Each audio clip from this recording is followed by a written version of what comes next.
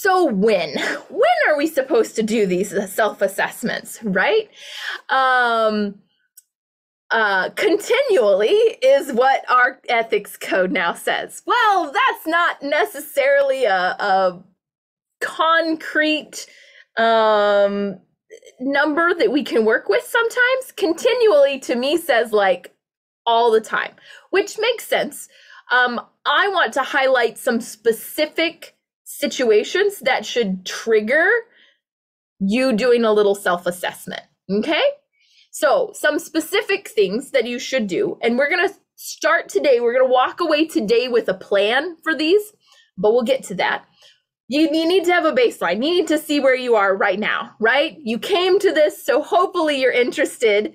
Um, some of you are newly certified, and some of you um, might have a pretty good read on your um, therefore might have a pretty good read on your competence because you just passed a thing and there's a big long task list on what you're competent in. Hopefully.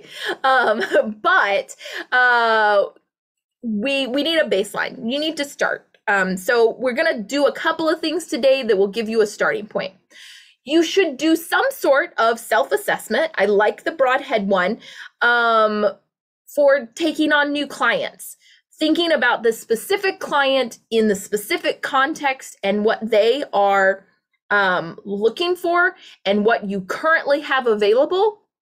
Yes or no? Do a little self assessment, see if this is within your competence or what you can do to resolve that. When you are using new interventions, so um, you might have read about something really cool. You might have gone to a workshop. Somebody might have mentioned this thing. It's great. Um, I'm going to use the example of acceptance and commitment therapy. There's a lot more information and motivational interviewing. Actually, let's just narrow it down. Motivational interviewing. Um, there's been a lot of topics lately that I've seen about motivational interviewing and using motivational interviewing when you're working with families to help them to make change with the learner that you are supporting, right? Um, because sometimes getting care, uh, parent and caregiver uh, buy-in on programs is challenging. So here's a suggestion: motivational interviewing. Okay, well, before I jump in and use motivational interviewing, I need to learn more about what that is. Having one talk that says motivational interviewing is great doesn't necessarily prepare me to use that. So if I want to use this new intervention, that would be a chance to um, you know to to do a self assessment okay how familiar am i with this how much literature have i read um, do i know someone else who's doing this so i could seek out some consultation are there places to get like this very specific training um, yes, there was one. Actually, it was really great too because um, that has come up just a lot in the last year. I think motivational interviewing. I've seen that, and I've attended. I don't know three or four now talks that have mentioned it in some capacity. Um, so that's a new thing if you hadn't heard about it. Not that it's a new thing. It's a new thing for ABA to start to uh, use. um, also, you might want to do a little self assessment when accepting new job duties. So, so far, we've kind of been talking about um, competence in the role of I'm the behavior analyst who is taking on clients that I am working with, or I am taking on supervisees, trainees that I am training. Um, what about in our jobs, right? Um, when I started my agency, uh, there were definitely new job duties that I took on paying employees, insurance, billing. These are new aspects. Those were new job duties that I took on that I needed to make sure that I had the appropriate competence in those areas or seek out the appropriate uh, resources so I hired out for an agency to do billing because I don't want to, and it's not my area of expertise, right?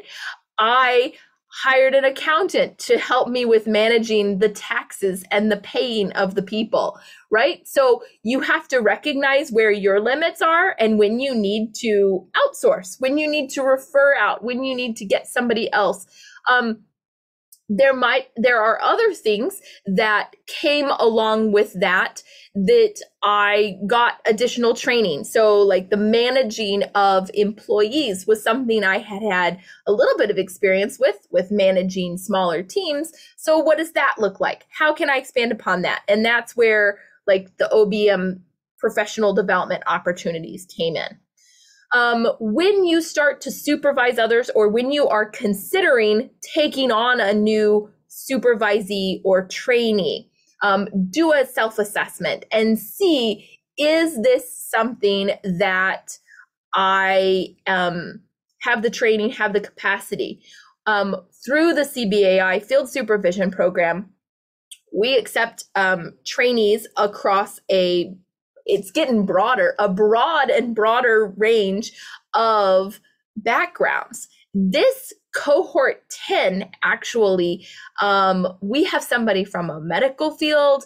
We have people working with um, birth to three.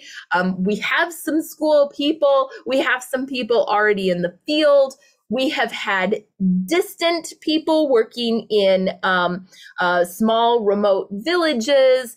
We, it, when we take those on, we have to consider, I have to consider, can I supervise this person? Can I provide them with the supervision for where they are practicing this skill set?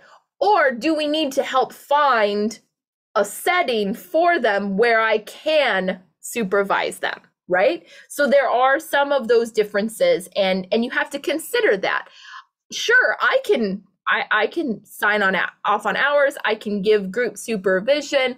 Um, but if you are applying it with a population that I'm not familiar with, that is outside of my scope of competence, I'm probably not the best supervisor for that, right? We probably need to pull in somebody else.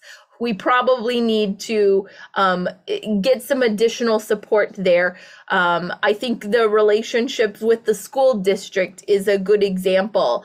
There are school district BCBAs that do the on site supervision because I am not a school district BCBA. I can talk about the general principles, but they are going to be um, better suited at the on site observation and feedback side of things because they are more familiar with that setting and that population and that system.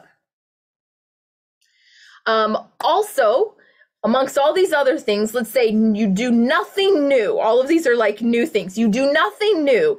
At the minimum, every two years, when you have to recertify, you should probably do a little bit of a self assessment when you are figuring out what CEUs do I need? What should I attend? What did I get most of this year? Right? I know um, that. Uh, you know, some people like to do their CEUs in bulk um, right before they have to renew, um, which is fine. It is a thing.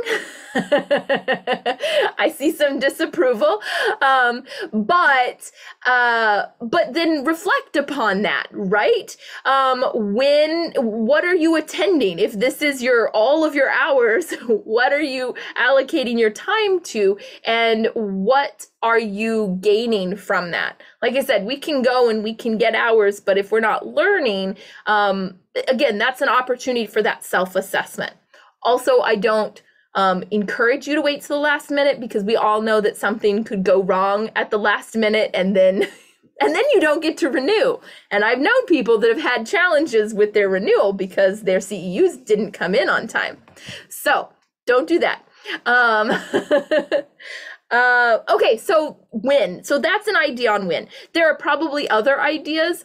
Um, but continually sounds so vague. I wanted to provide some really pinpointing circumstances. Um, this is kind of like uh, when I talk to people about preference assessments. Well, how often should you be conducting preference assessments with your learners while you're working with them? It's like, well, like all the time, but like what does that mean right? Well when they show disinterest when they've completed an activity when it's been you know a certain amount of time since they've last changed.